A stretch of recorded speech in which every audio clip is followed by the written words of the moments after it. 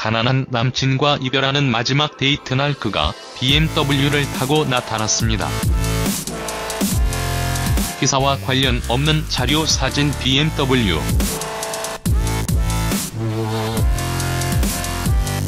인사이트 변보경 기자 가난한 남자친구가 싫었던 여자친구가 그에게 이별을 고한 뒤 땅을 치고 후회한 사연을 전했다.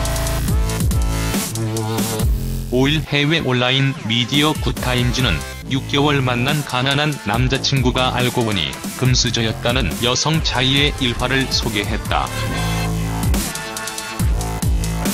사연에 따르면 자이는 물질적으로는 풍요롭지 않지만 마음은 누구보다 따뜻했던 남성과 사랑에 빠졌다. 남자친구의 가난한 사정을 알았던 자이는 연애 초반 허름한 포장마차에서 함께 먹는 국수 한 그릇에도 행복을 느꼈다. 구더틴즈 하지만 달콤한 만남은 오래가지 못했다. 자이의 주변 친구들이 남자친구 자랑을 하기 시작할 때부터 두 사람의 관계에 금이 가기 시작했다. 하루는 여느 때와 같이 남자친구와 국수를 먹으며 데이트를 하던 자이는 어떻게 6개월을 만나면서 선물 하나 안 해줘? 누구는 명품 가방에 옷에 선물만 잘 받는다는데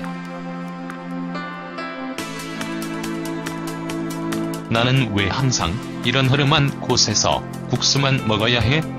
라며 날카로운 말을 내뱉었다.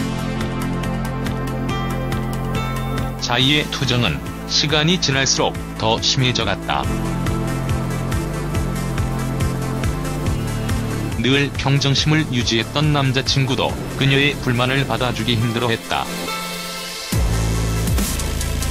데이트할 때마다 싸움을 반복됐던 두 사람.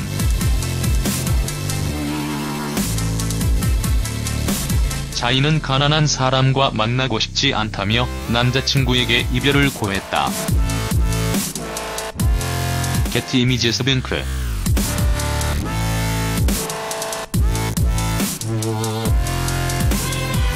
남자친구는 자이에게 헤어지기 전 마지막으로 같이 식사를 하자고 말했다. 그렇게 남자친구와 마지막 식사를 하던 날 자이의 눈앞에 BMW 한 대가 등장했다. 차주인은 그녀의 남자친구.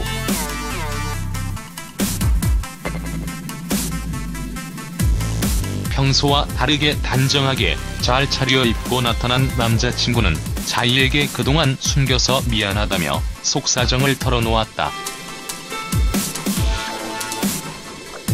사실 남자친구는 평생을 놀아도 먹고 살 수 있는 금수저 집안의 아들로 자신의 신분을 속이고 살아왔다. 돈이 많다는 이유로 전 여자친구들에게 뒤통수를 여러 번 맞아왔다는 것. 이후 그는 이성을 만날 때 물질적인 부분이 아닌 자신의 모습을 사랑해줄 사람을 찾고 있었다고 설명했다. 기사와 관련 없는 자료 사진 BMW 그러면서 그는 운명의 상대를 만난 줄 알았는데 당신도 다른 여자들과 똑같다고 말했다. 자이는 정말 몰랐다.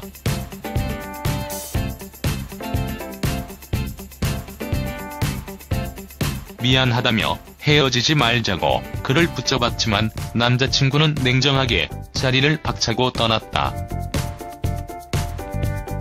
결국 이별을 맞이한 두 사람.